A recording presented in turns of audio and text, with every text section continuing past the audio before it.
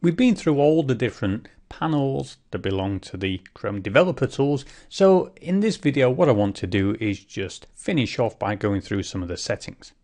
So if you go to the right hand side, you'll see this nice little settings icon. Give that a click. And I tell you what, if we expand this up, we can see a lot more settings on the page.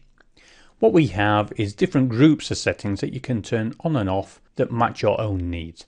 So for example, we can disable cache. So instead of having to remember to do the Control Shift R for a full hard refresh, we can make it do a hard refresh by default. We can also disable JavaScript to see what our websites look like without any JavaScript running. And over on the right hand side, you can see some more JavaScript settings and CSS settings that you can set, play around with, and see what suits you best.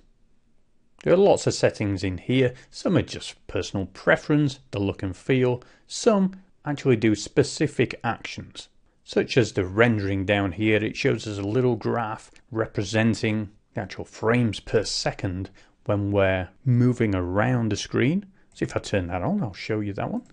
Let's bring this down so we, we can see it.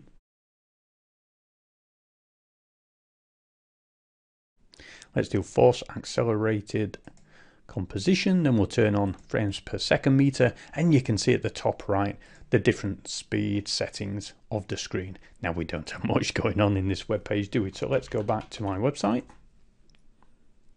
and then we'll see these uh, these metrics updating. There we go as it's loading in.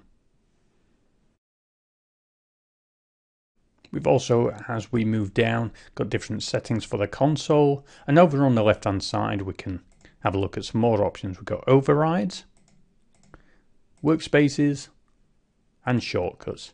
And to be honest, the general and shortcuts is probably what you'll refer to most. And shortcuts are just the shortcut keys for all the different panels if you become a keyboard wizard.